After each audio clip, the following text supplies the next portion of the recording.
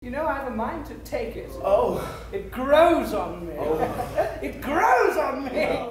I just might take a chance. Take a hold of yourself, lads! 2,500 francs! But tell me, this, um, Mr. Millet. Millet. This Mr. Millet. Is he dead?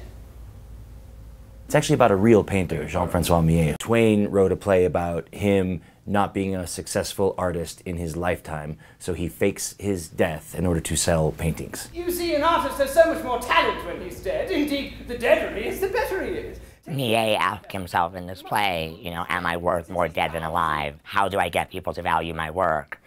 Uh, and I think everyone's asking that nowadays. It, uh, it's a hard time to be uh, finding work in America. We're saved! Boys, we're saved!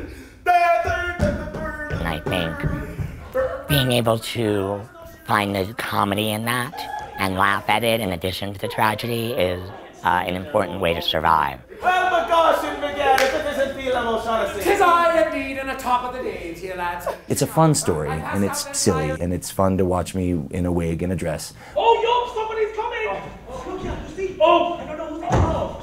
But it's also the story of an artist um, who's struggling with life and love and art, and I can relate to that, and I, and I like telling that story. When you come to know the world better, It's the skinflints that run it. they always have. There's such a wonderful group of actors who are so committed to storytelling and the work. We really are having as much fun as it looks like every day.